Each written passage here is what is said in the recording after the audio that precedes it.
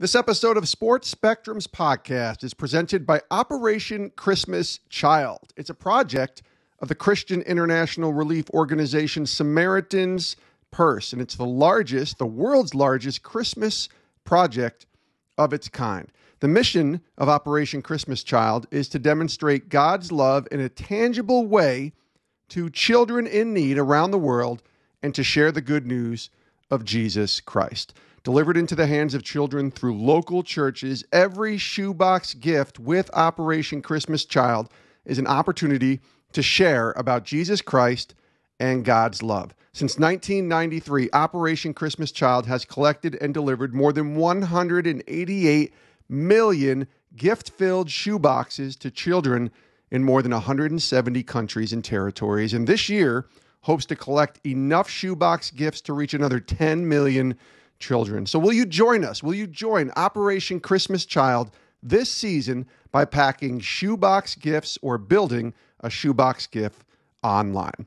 National Collection Week is coming up November 15th through the 22nd. That's where shoeboxes will be collected across the country at nearly 5,000 drop off locations. We'd love to have you join us. Anyone can do it individuals, families, churches, students, groups. Packing a shoebox is a great way to teach kids about thankfulness and giving back to those in need. Check out SamaritansPurse.org slash OCC for Operation Christmas Child, SamaritansPurse.org slash OCC to learn how to pack a shoebox or build one online. Operation Christmas Child.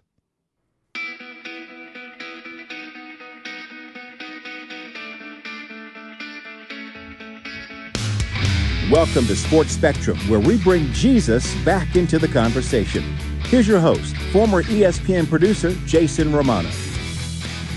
Welcome, everyone, to the show. I am Jason. This is the Sports Spectrum podcast. We're so glad you joined us here on our show today. Check out our website, sportsspectrum.com, for all of our content, devotionals, podcasts, articles, stories, all available for free at the website, sportsspectrum.com. When you're there, by the way, sign up for our weekly newsletter. It is free.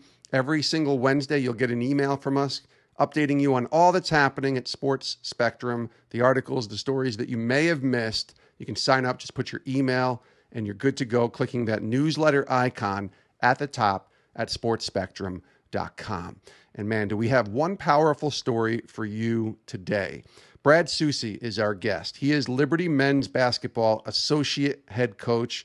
He's there working with Ritchie McKay, the head coach, and building up a pretty powerhouse of a program at Liberty the last three seasons. They've gone to or won the conference championship and earned a berth into the NCAA tournament.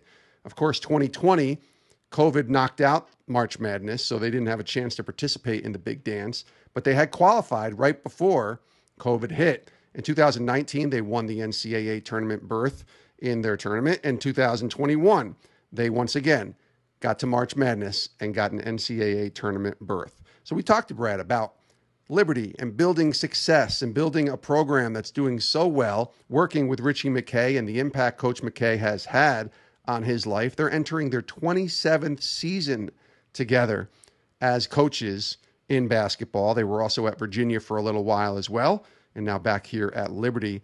But even more, we talked to Brad Soucie about his wife Kendra, who passed away a year ago in August of 2020 at the age of 49 from breast cancer. And we talk about what that experience was like for Brad as a follower of Christ, as a dad, as a husband, and how he processed grief, how he trusted in God, no matter what the outcome was. There's a lot here. And if you're going through a situation in your life where maybe you lost someone close to you or you're going through it and you're trying to trust in God during a particular storm that's being, you know, thrown at you right now in your life, I really want you to pay attention to Brad Soucie's words here. They are an amazing encouragement. I know they were for me, and I know they'll be for you as well. Let's take a listen to our conversation with Liberty men's basketball associate head coach Brad Soucie here on Sports Spectrum.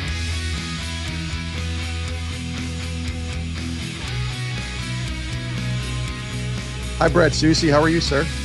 Good. How's it going, Jason? Doing well, doing well. Thanks for being uh, willing to come on and share your story here on Sports Spectrum. Um, let's start with you know, and, and social media is wonderful in giving me this information. But let's start with this recent trip that you guys took to Puerto Rico.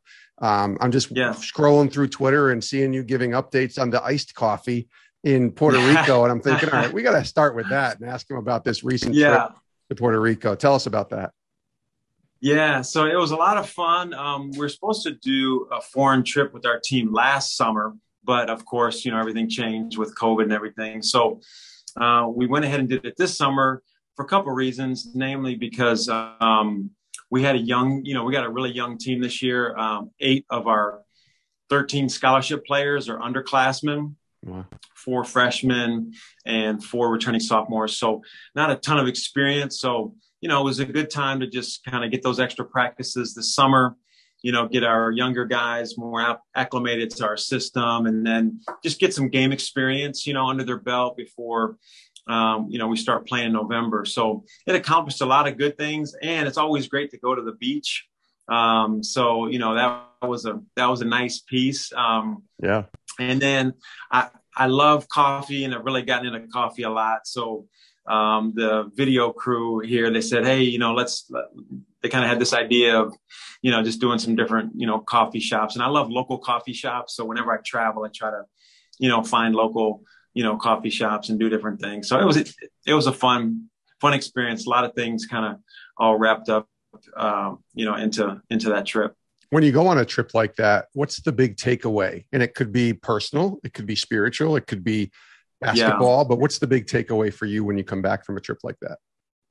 I mean, you know, the first is just really thankful for a lot of the blessings and things we have here, you know, in the States. I mean, you know, one example, we were in old San Juan, um, you know, trying to find some coffee shop slash dinner. And this was a Sunday night. And, you know, we found out that there was no water in the whole downtown area.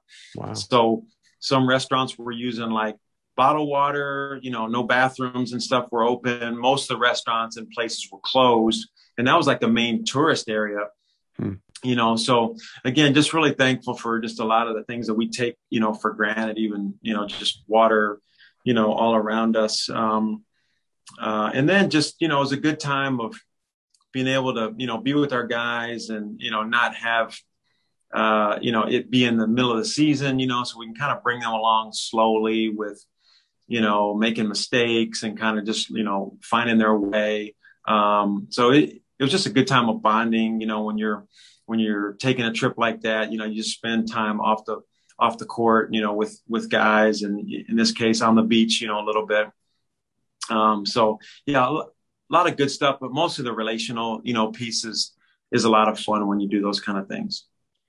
Now, Liberty basketball, um, Brad has been on some kind of run these past three seasons. Uh, three straight NCAA tourney berths. We know the 2020, mm-hmm. you know, tournament was canceled um, because of COVID. But what do you think when you think back to the last three years has led to the success that y'all have been on? Um, just watching mm-hmm. you on the court, knowing Coach McKay, and knowing you know the the culture that's been built there. Uh, it's been pretty fun to watch. What do you think of uh, when you look back has led to that success? Yeah, uh, you know, us being at Virginia for six years um, and really, you know, learning the process um, and you know staying with the process. You know, I, I think the biggest takeaway I got from working with Coach Bennett was that he had a vision and a plan for the program, and it took time you know, and but nothing changed. You know, it, he he wasn't giving in. You know, it, it was hard. It was a hard way to play. You know, the defense is really really hard. Players don't come in, you know, with that kind of defensive mentality. But it's just his will. He imposed his will onto the team, and then when you start having success, then uh, you know that validates it, and so then everybody that comes in, you know, you just kind of fall in line and that's where it can just keep kind of turning over, you know. And so we had some rough early years at Virginia, and then you know we had some rough early years here at Liberty. But it's the same thing of just sticking to the plan, sticking to the vision, and then you know when it kind of when we got to where we had juniors and seniors and they had been in the system and they had the reps to be really good at it, then it started, you know, things started to turn. But you know, our first year we lost our first 13 division one games. Wow. You know, and yet, you know, you just you just stay with, you know, you stay with the process. So trust in the process, you know, even in those times where you don't really see a lot of the fruit is what really yields to the sustained success that I think, you know, Virginia has been experiencing. And then, you know, we're starting to kind of touch a little bit of that. And now you're getting ready for another season, like you said, just coming back from Puerto Rico. You got a young team. Does it make mm-hmm. it harder when you have the success? And maybe you kind of just answered this, but does it make it harder when you have that success in the, the success that you've had um, and raised expectations? Right now, when you're looked at, hey, they just went to three straight tourneys, so mm-hmm. do it again. Um, does it make it harder with those expectations to coach and prepare with Coach McKay as you get this season going soon? Yeah, that's a great question. Um, I look at it like I would much rather be on top than chasing the top. You know, I mean, for so much of you know our coaching career, it's like you know we were the ones pursuing, pursuing, pursuing. You know, and now that we you know are kind of where we are, it's a you know it's a it's a it's it's really fun, but you don't rest on that either. I mean, you know, we're always competing and trying to get better and find ways to do things a lot better, but it's really fun and enjoyable when you have the blueprint and you're just kind of, you know, making tweaks and, you know, small adjustments versus, you know, what are we going to do in this situation or how are we going to beat this team or whatever. So to me, it's a, it's a fun place to be and it's, it's equally as motivating but it's but it's a different kind of motivation that I think you know can be can be really fun, and it's a it's a tribute to you know our guys and our and our players you know that have just bought in and you know continue to you know put the team ahead of you know themselves on a on a daily basis. You've been with Coach McKay. I read this since 1995. Am I right on that? 95. Yeah, this is our 20 be our 27th season coming that's up. That's incredible. So tell me about Coach yeah. McKay and his impact on your life and why that's the case because this is a business mm-hmm. too in some cases for a lot of guys who are trying to move up in the coaching ranks and I've been to you know uh, the final four and i've been to those mm-hmm. convention halls and i see guys looking for jobs and looking for roles and talking and i know how that world is mm-hmm. 27 seasons with the same guy that's that's awesome. It really is yeah. pretty cool. Can you kind of explain a little bit um, the impact that Coach McKay has had and why you guys have been yeah. able to make it now for 27 years? Yeah. Well, first of all, I mean, I credit him for being in coaching because we met. I was in business um, and uh, had just moved to Seattle. He was an assistant coach at University of Washington, and a mutual friend of ours kind of connected us. And so our wives you know became really good friends. We became really good friends. We would kind of play pickup you know and and he's real competitive and i'm i'm real competitive. So you know that's how we kind of became friends. And then a year later he was like hey i might get this job at portland state. Would you want to come be my assistant? And i was like no you know i'm good. I kind of got this business thing. I mean i i never desired to be in coaching you know and so and then i was just I kind of prayed about it, talked to some business mentors of mine, and one of the business mentors he said, he said, "You got a chance to go be a Division One assistant." He's like, "Go do that. You can always come back to this."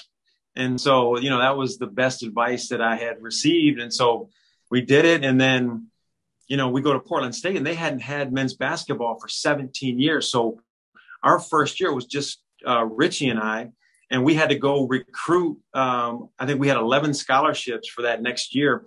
We had to go recruit 11 people to like nothing.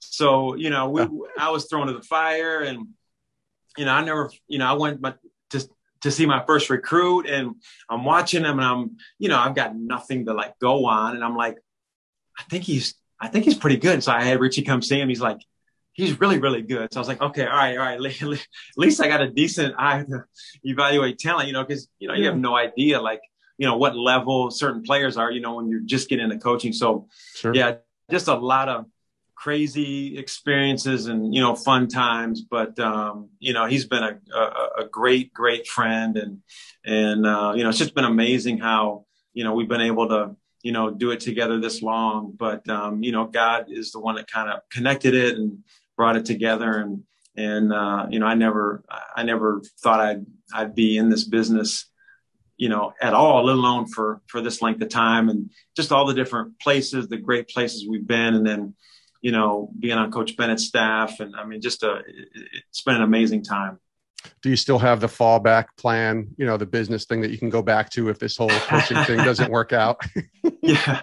Yeah. No i yeah I, i've got an entrepreneurial side of me. So yeah i I dabble in, you know, some things from time to time. You know, the head coaches are the ones that make the big money. You know, us assistants, we gotta we gotta scramble and you know build our retirements in creative ways.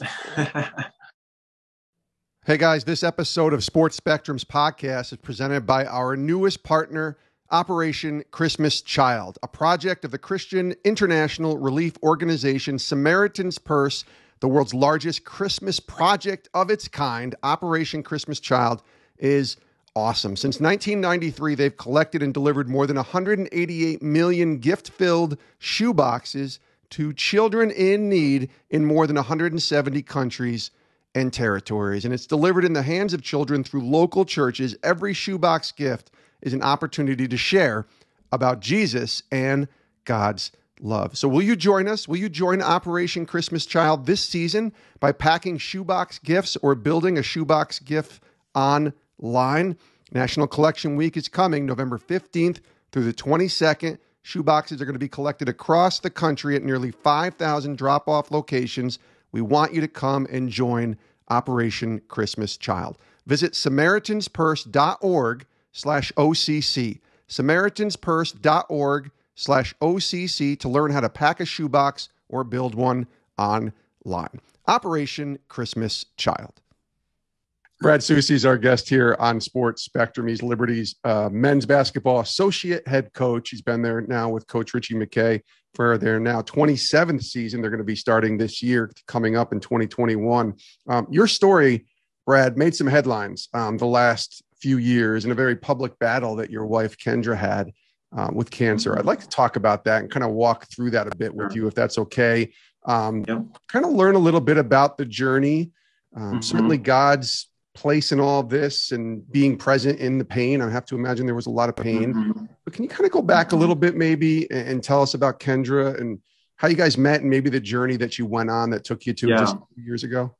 Yeah, absolutely. So we met in college, um, and uh, we got engaged less than a year after meeting and then you know got married and um, I, I was in business for about three years before into coaching and then you know got into coaching. It was just a wild ride. I mean we were moving every two or three years and you know it was really challenging and tough. Um, but she was just a godly woman and um, you know just a great mother and a great you know wife and um, just a, you know extremely supportive of this crazy business that we're in you know just it's, it's just so so abnormal you know the schedules that we have and everything. I mean as fun as it is it's not it's not a job it's not work you know what we do but it is very time consuming and you know different times and and all that you know. So she was you know incredible support you know for that um and did a did a fabulous job of raising you know our our three children and and then um you know, three years ago, we get, um, you know, notice that she's got, you know, breast cancer and it's a super aggressive type, triple negative. And, you know, so we just, you know, we, we start praying of like, you know, what do we do? What's the path? And, and, you know, there's, there's the traditional chemotherapy path and all that. And then there's a holistic path. And, you know, she just felt really strong that, you know, she was to go the holistic path, which, you know, you have no idea how to navigate that. And so it was just, it was a time where we just, you know, clung to each other and, and sought God and, you know, just went step by step. Um, and, uh, you know, it was, it was a tough, tough road, you know, um, and early on, you know, there was, there was just a, you know, we thought we are kind of making some headway and then, um, a year uh, about a year and six months into it, you know, we learned that it metastasized, which you know means that it's it's spreading throughout the body, and um, but just amazing to um, you know, how just friends and family and the body of Christ rallied around us because that's a real expensive path and insurance doesn't cover, you know, any of that. And, you know, she, the, the first round we felt got her to go to a place called Hope for Cancer. And they operate in uh, Cancun, Mexico, because a lot of the holistic, you know, uh, pathways are not approved, you know, here in the states. And so mm. um, we went there, and and uh, you know, Ritchie and and Julie and you know, friends of ours were key, and you know, you know, we started GoFundMe and raised a lot of money to cover you know everything for that, and and and she had progress there. But then coming home, um, you know, and just kind of going through it, you know, that we were all, you know, me and my family and you know, my kids, you know, we were all praying and believing, you know, that God was going to heal her and that she was going to have her testimony. And, and, um, you know, so, uh, when that didn't happen, you know, it's just like, you know, my kids and everybody's like, all right, you know, where do we go from here? And, and so I just began to like, you know, read stories about other, you know, godly people that believed and prayed, you know, for the same thing. And it didn't happen. And, you know, it's just like, you know, in the end, we trust God you know, because the devil likes to come in and, oh, you know, he's not real or, you know, you know, you believed and yet he still didn't, you know, just all those things that he tries to draw us away, you know, from God. And so um, it was just a time, you know, that my kids and I, we kind of just rallied together and, you know, stayed together and, and just really tried to support each other, you know, in prayer, you know, through, through that whole time. But, um, you know, it was really challenging, you know, just e- even going through our seasons and completing that and, and all that. But, um, yeah, you know, it's really tough and you don't know why, you know, and I really don't even, you know, let myself go there, like, you know, why, how, all that, you know, because it's like, all right, I God, I trust you. I, I have no idea, you know, why or how or what it's going to look like, you know, going forward. But, you know, we trust you and we're going to seek you for, for what's next. A couple follow-ups off of what you just described. Um, getting the news initially, because you're working for liberty and your faith is strong. And like you said, we prayed and we went through it. But for you personally, when you go through a situation like that um, and you want to be the rock right you're the husband who wants to be there for your mm-hmm. wife and support in every way possible mm-hmm. but there's also this process that you got to go through yourself uh, with just yeah. you and god did you allow yourself mm-hmm. to have that or was it kind of all systems go i'm just serving my wife here and maybe it didn't yeah. come till later does that make sense yeah yeah no i mean I, I i fully agree with her with the path that she chose because um you know, when she first got diagnosed, um, she had triple negative, you know, breast cancer, which means most of women's breast cancer feeds off of one of the three estrogen receptors in a woman's body. So when they find out which one, they just shut that down, and then you've got you know a better chance of beating it. Well, hers, you know, they basically don't know how it survives and you know how it grows. Um, so they just want to, you know, hammer it with chemo, and the type of chemo that they you know, we're going to give her, you know, you've, you've got a 3% chance to live beyond five years, you know? And so we're just like, well, let's try the other thing. So I was full support of, you know, her doing that, you know, and, you know, and you get people questioning, you know, that path, but I don't have any, you know, doubts about, you know, that or even, even regrets, um, you know, of, of what happened, um, you know, from that standpoint. Um, but you know, as crazy as it may sound, like even even each phase where physically, you know, you could just see the decline in her physically, it was like I was believing that, you know, she was going to be healed. I mean, you know, we never, I mean, even to her last breath, we never talked about, you know, death. You know, we just, we were believing that, you know, she was, she was going to live and God was going to, you know, and each, each phase, you know, you're like, okay, the miracle is going to be greater. The miracle's, you know, going to be greater. And it wasn't like a, it wasn't like a passive, you know, like, oh, I'm just, you know, trying to ease my kind of like, you know, I was like, I really believe, you know, I mean, I, I believe God still heals. I believe he still does, you know, the things that were done in the Bible. Um, and so we were just, you know, we were believing those things for her. And, you know, even up to the very, very last, you know, last minute. And, I don't, you know, somebody asked me to say, you know, well, do, do you regret not, having some final, you know, words for her. And I said, no, I was like, you know, she would want me fighting in prayer, you know, for her healing, you know, right up until right up until the very end. What did you learn from God through watching Kendra battle for those few years? What was God teaching you at that time? What was he showing you as you mm-hmm. watched your wife go through that? Yeah. Good question. Um, you know, it's um I mean it's it's it's a real tough thing to go through, but again, it's like I there like I would wrestle with God in my quiet times, you know, because there was many times where like I just heard God say that, you know, he was going to heal her.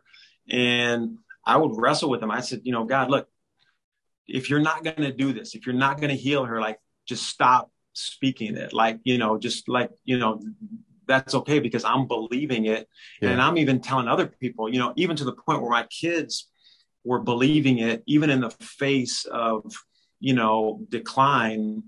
And, you know, and so even that, you know, you, you know, you can go back and be like, well, was God really speaking to you or what, you know, what was, I, you know, and it's just like, I firmly felt that he was and believed him, you know, and there's been a there's a couple pastors that, you know, I I listen to and I follow and you know they've they've prayed and seen people healed from cancer and yet both of them had close loved ones that they were you know praying and believed that they were going to be healed and they weren't you know? So it's for whatever reason it's not you know it's not like a blueprint like hey do steps one through five and then god's gonna god's gonna heal you know he does yeah. heal.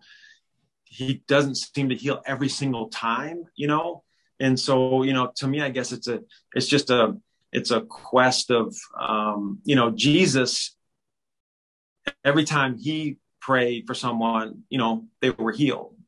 And so it's like you know there's just a even a greater desire to have greater intimacy, you know, for him to, for, you know, for that in the future. Um, and I just, you know, I've really been burdened a lot lately. You know, cancer is just a brutal, brutal disease. And I don't feel like God wants us to just accept it. You know, I mean, it's on the rise in our country and it's ravishing so many of his children, you know, and it's like, our, I, I, just get a sense of rising up in prayer a lot, you know, for the defeat of of this uh, disease. Yeah, I heard um, Tony Evans' son, Jonathan Evans, um, preach at his mom's funeral, and mm-hmm. Jonathan was on our podcast a couple months ago, and uh, he he shared this again, and I don't know if he thought this during the process of his mom fighting because he said it after, but he said either my mom, he, he felt like the Lord had shared with him in his heart, either my mom was going to be healed or was she was going to be healed. And what he meant was healed mm-hmm. on this earth, or she's going to be with Christ yeah. and she's going to be completely healed there with him. Right. I thought that was fascinating to hear. I'd never mm-hmm. heard that before. Um, mm-hmm. I don't know if if that's something that you kind of felt after your wife yeah. had passed, but is that something that kind of you sensed once, yeah, you know, when she had gone on to be with the Lord? Yeah. Um, you know, people have said that, you know, to me and I, you know, and I said, you know, there was one time that I, that I remember really clearly. I was driving onto campus uh, to work and there was a big, bold rainbow, you know, that I saw. It just got done raining.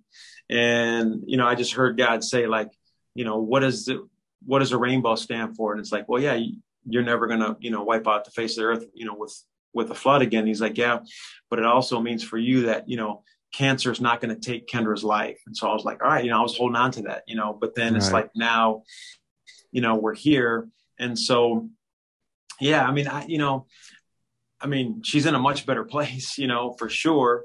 Um, you know, I heard a pastor say, you know, you can't, um, how do you say? He said, you can't threaten me with heaven you know, and it's a really good, you know, thing good point. like, yeah. I mean, you, you know what, you know, I mean, whether it's, you know, terrorism or, you know, facing death, he's like, you know, you can't threaten me with heaven. Like, really, like that's, hey, that's incredible, you know, but I think a lot of times we, you know, we desire to hold on to this life, but, you know, that's just been a real, you know, bold thing that stood out, you know, and even with what you see on TV now, what Christians are, going through in Afghanistan, you're just like, God, like how, why, what, you know, but that, that word, you know, you can't threaten me with heaven. It's like, you know, if they die because they're proclaiming Christ's name, I mean, you know, right.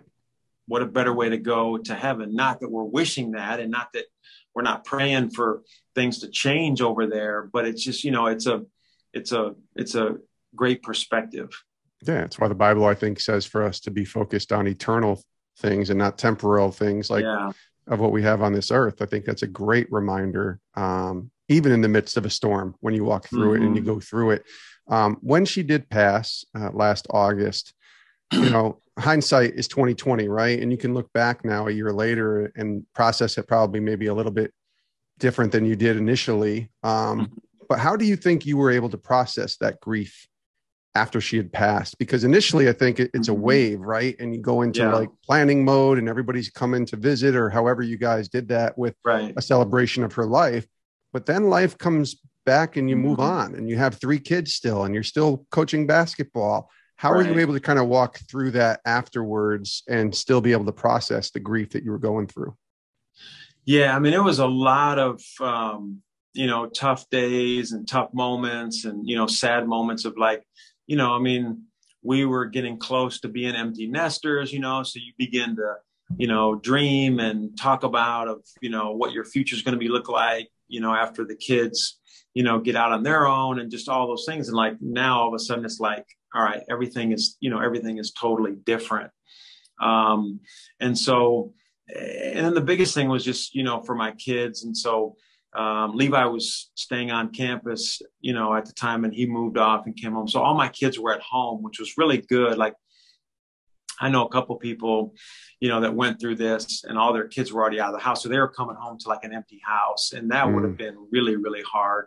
Yeah. Um, but my kids were there, and so we just developed a system of you know, that if anybody was struggling, we had a little code, you know, word or text or whatever, you know, that we would send out so that, you know, we just know we could rally around each other, support each other.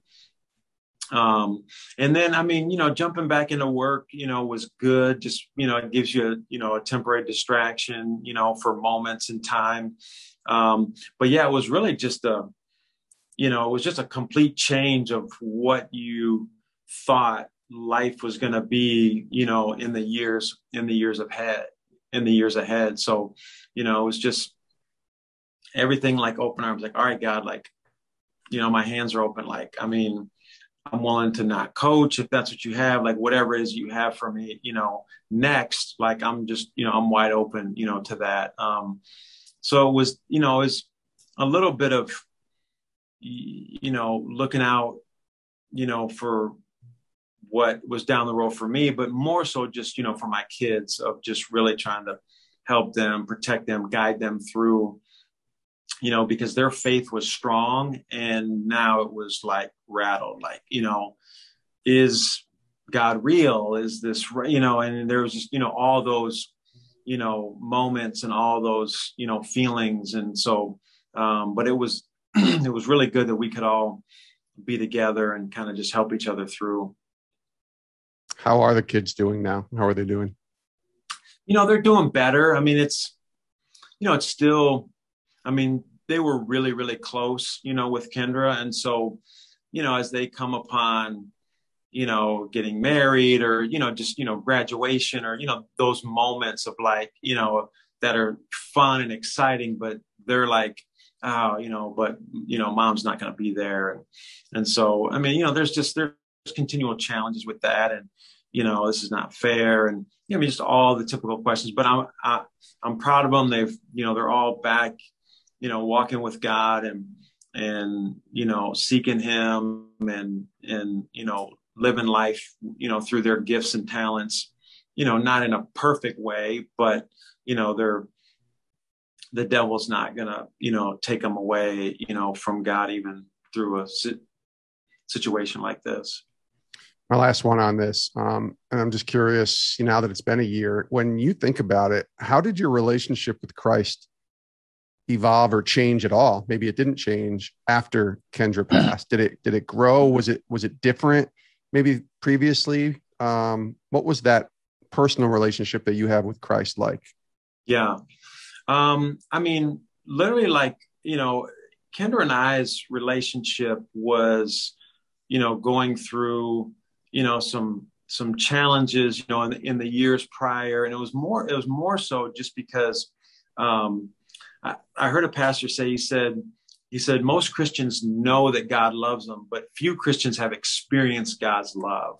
Mm. And, and, and he's like, there is a difference, you know? And so I, you know, I, I, heard that and I just began to pray like, all right, God, like, you know, let me experience your love. Cause I knew, you know, uh, loving was, you know, I didn't, I, you know, I don't think I received great love growing up and it wasn't any fault of my parents, you know, it was just how they were raised and the generational stuff and so you know i don't feel like you know i loved well and so literally like you know, months before her diagnosis, it was like, you know, God healed me. He, you know, it, you know, expressed his love on me, which then changed everything. I mean, and it was just, you know, it was amazing what God did in our relationship, you know, and so that was kind of the beginning of just this, you know, change in my walk with him of just, you know, being able to go deeper because now I've experienced his love, which then I can love others in a whole different way.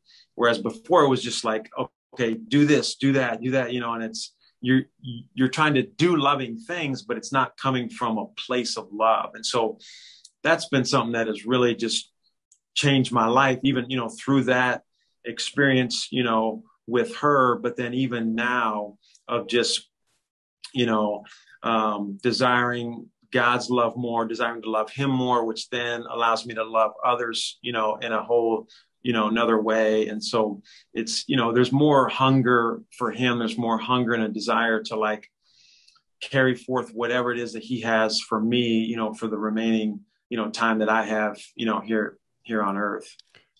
Did you find yourself um, recognizing that you do have a testimony here to share? versus you you kind of mentioned it you know with your wife you you and her were talking about hey we're going to believe she's going to be healed and and my wife's going to have a testimony um, and there still kind of is a testimony that came out of all this isn't there yeah there's been a couple situations and then my kids have had some moments too you know where either somebody is kind of ahead of them in this process and they've been able to comfort and encourage my kids and then my kids have come across some people where they're ahead of some of their friends that are now going through some of that stuff. So it's amazing how, you know, and, and God's brought people into my life that have helped me, you know, walk through, you know, this time. So it's amazing how in this journey, you know, it's important, you know, to have people pouring into us and then we can pour out, you know, into other people. Um, which is, you know, God's God's plan, you know, for it all. So yeah, it, it, it's it's been really good from from that standpoint you know and you just know that the things that we go through are not just to you know for us or for us to keep it inside of us but to share to talk to look for opportunities where we can you know be a blessing or an encouragement to others well brad Soucie thank you my friend thanks for being willing to share your story mm-hmm. um, our condolences obviously i know it's been a year but uh, our condolences certainly to you all it sounds like god thank is you. still working in you and your family's life, uh, which is great. And you got another basketball season coming up to look forward right. to, which is exciting yes. as well.